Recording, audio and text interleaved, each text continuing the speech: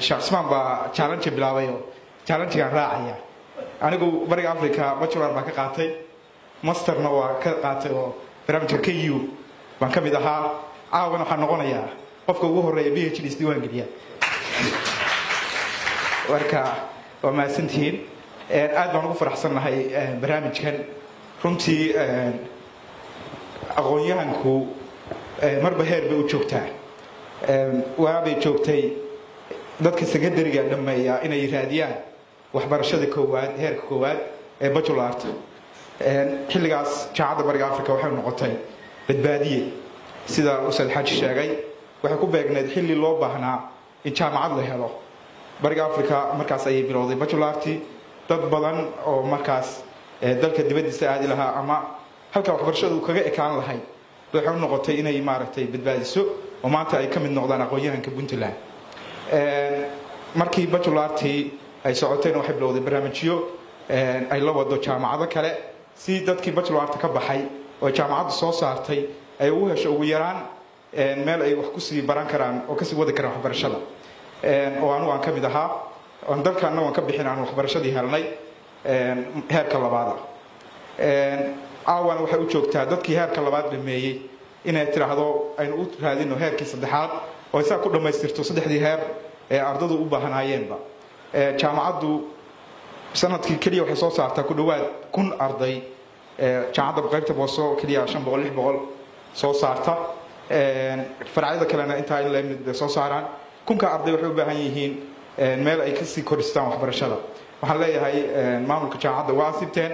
Caawa inaad daafurkan samaysaan oo aad maaragtay ardadaas aad u heshaan meel ay waxbarashadii ka sii wataan runtii annagana waxay noo tahay farxad weyn inaanu maanta helnay inaanu waxbarashada sii wadan karno. Intaa waxaan ku xojinayaa shirkadaha ganacsigu. Waxaa dadka howlwadeenka u ah ee wada ee maanta maarata businesska kor u qaaday waa dadka ay jaamacadda bariga africa soo saartay. Marka ka hadlay puntland iyo gaar ahaan boosaasoba haddaa eegtay shaqaalaha boqolkiiba sagaashan iyo ka badanba kulli waa dadkii ay soo saartay jaamacadda bariga africa marka waxaad dareemaysaa horumarka ganacsi ee jira inay bays u tahay jaamacadda bariga africa oo dadkan ay shirkaduhu ku faanayaan ee maalin walba kor u sii qaadaya ay yihiin mirihii. Annaga ka shirkad ahaan somtel shaqaalaha ugu badan ee shirkadda ka howlgalaa waa mirihii jaamacaddu ay soo saartay. Waan uga mahad celinayna waxaan kaloo rajaynaynaa shaqaaluhu inay hadda kadibna ka sii fakeraan inay kor u sii qaadaan dadka u baahan inay mastertii iyo b h d ka sii faa'idaystaan oo waxbarashadooda kor u qaadaan ka shirkad ahaanna waxaanu dhiirigelinaynaa mar kasta oo boolisgayga ka mid ah mar kasta qofka qualificationkiisu kordho sida scalekiisa positionka uu joogo iyo financialiba uu kor buu u qakacaa taana waxa weeye waa boolisgayga hore ugu jiray. Haddana waxaan rajaynaynaa inay maaragtay ka faa'iidaysan doonaan maaragtay shirkad ahaanna annaga muhiim bay noo tahay in waxbarashadii la helo si businesskii iyo ganacsigiiba kor uu sii qaadno arrinta ugu dambaysa waa habeen wax badan baan odhan lahaa laakiin waa soo kokoobayaa ka shirkad ahaad somtel aan magaceeda ku hadlayo waxay qayb weyn ka ahayd waxbarashada. Oo barnaamijka barnaamijka waxbarashada waxaa ogtihiin in uu digital noqday. Oo qofki isagoo gurigiisa jooga uu u baahan yahay in wax barto.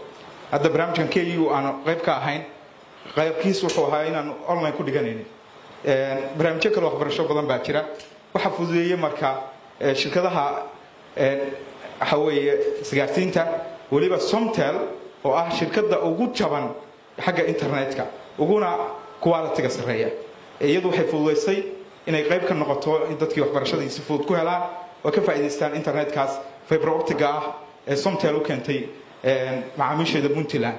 Ayna kaga faa'idaystaan dhanka waxbarashada ganacsiga iyo qaybaha maaragtay u baahan yihiin oo dhan caawan halkan waxaanu qayb ka sii noqon doonaa barnaamijkan waxbarashada halkan lagu daafuray ustaad taajir wuxuu sheegay in gobollada qaarkood online lagu dhigan doono.